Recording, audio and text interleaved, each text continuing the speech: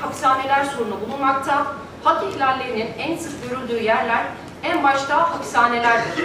Bu nedenle baroların temel çalışma alanlarından biri hapishaneler olmuştur. Hapishanelerde yaşanan hak, hukuk dışı uygulamaların merkezi de kuşkusuz İmralı F tipi ada hapishanesidir.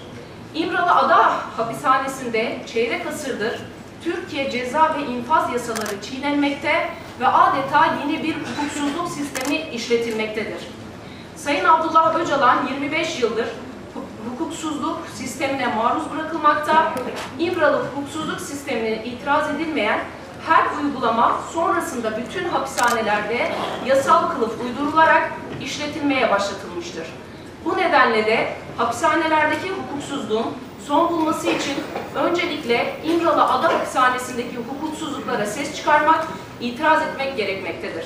Sayın Öcalan 43 aydır ailesi ve avukatları dahil hiç kimseyle görüştürülmemiştir. Bu görüştürülmeme hali mutlak iletişimsizliğe denk gelen tecritin somut halidir. Sayın Öcalan'a uygulanan tecrit sistemine ses çıkartılmadığı, itiraz edilmediği sürece toplumun çeşitli kesimleri de adım adım bu tecrit sisteminden payına düşeni alacaktır. Dolayısıyla tecrite karşı toplumun bütün kesimlerinin tepki göstermesi gerekmektedir ve zaruridir. Sayın Öcalan'a uygulanan tecrite yalnızca hapishaneler boyutu değil, toplumsal barış yönüyle itiraz etmek gerekir. Zira Kürt meselesinin barışçıl ve demokratik yöntemlerle çözülmesi için Sayın Öcalan'a uygulanan hukuk arasında güçlü bir bağ bulunmaktadır.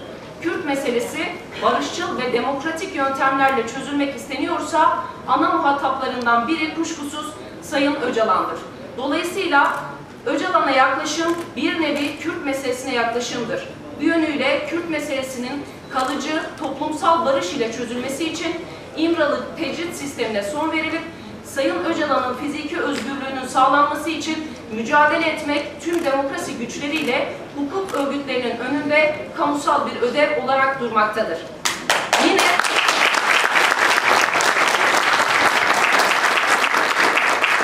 Yine son zamanlarda özellikle kadınlara, çocuklara yönelik cinayet ve şiddet fiilleri her geçen gün artmakta ve önü alınamamaktadır.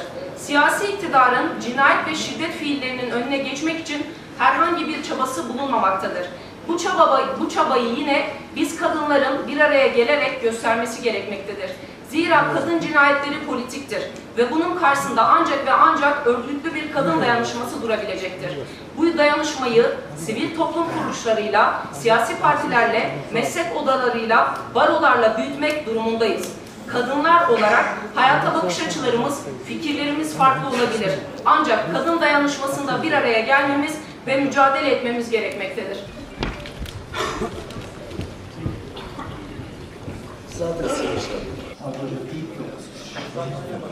Kutuplaştırıcı, ayrıştırıcı, ötekileştirici davranışlardan uzak tuttuk ve bütün meslektaşlarımızın da bu tür davranışlardan uzak duracağına yürekten inanıyoruz. Kucaklaşmamız gerekiyor değerli meslektaşlarımız. Avukatları olarak her zaman güç odaklarının hedefinde olduk elbette. Bu saldırıları dayanışma ile boşa çıkarabiliriz. Yönetimimiz süresince toplumdaki kutuplaşmanın baromuza ve avukatlarımıza yansımasını önlemek için büyük gayret gösterdik, göstermeye de devam edeceğiz. Güçlü savunma için yola çıktık deniliyor. Güçlü, ilkeli, kurumsal, etkin bir baro vaat ediliyor. Bu vaatler 5 sene önce bu kürsüye ilk defa çıkan Sayın İsmail Yekin vaatleri olsaydı üzerine çok konuşacak bir şey olmayı Biz her zaman bir duygusuyla hareket ettiğimiz için sizlere bizi tanıtıyor. Evet değerli meslektaşlarım, biz hep şunu söyledik. Bir masayı bir insanın tek başına taşıması ile 22 kişinin birlikte taşıması arasında muhakkak ki bir fark vardır.